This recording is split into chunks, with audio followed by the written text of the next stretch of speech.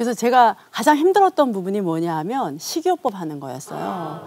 그냥 운동만 밥만 잘 먹고 운동해라 그러면 쉬운데 대회 준비를 하다 보니까 어떻게 해야 되냐면 정말 고구마하고 닭가슴살, 채소, 과일 이런 거만 먹어야 돼요.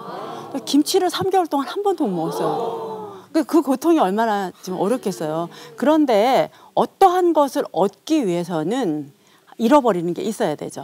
어, 그래서 우리가 이런 그 다이어트가 힘들지만 그 최고의 몸을 만들기 위해서는 그런 좀 먹고 싶은 것도 참아야 되고 좀 모임도 못 가고 어, 그렇게 하면서 정말 어 그리고 또 제가 트레이너한테 트레이너한테 그랬어요. 저는 요번에 한 번만 나가고 안 나갈 거니까 무조건 1등을 하게 해달라. 예.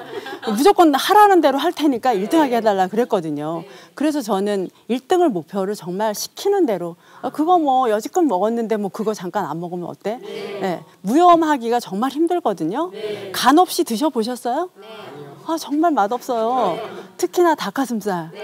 그거 퍽퍽하 그냥 먹어도 퍽퍽한데 그 간도 없이 먹으려면 아주 막 곤욕이에요. 그, 그렇지만 뭐예요? 저의 그 목표 꿈을 위해서는 그거 참고 견뎌야 되잖아요. 그래서 제가 견뎌가면서 했습니다. 네.